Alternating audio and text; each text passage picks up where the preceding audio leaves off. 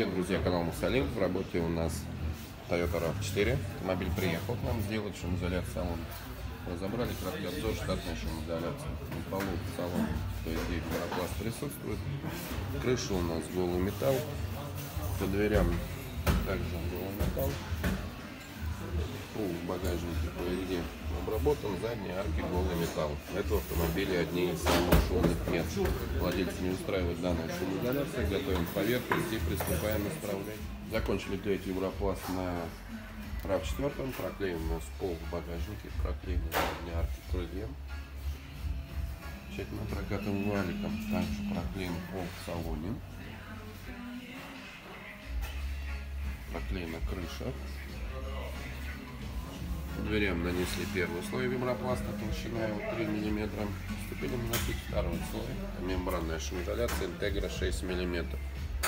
Продолжаем нашу работу. Друзья, закончили клеить шумоизоляцию на RAV4. Проклеен у нас пол в багажнике, проклеены задние арки. Проклеен пол в салоне. Используем Vision 6 мм. Проклеена крыша. В дверях нанесли Третий слой вибропласта, толщина его 2 мм. Четвертый заключительный слой мы наносим на дверные обшивки. Шумопоглотитель, толщина 15 мм.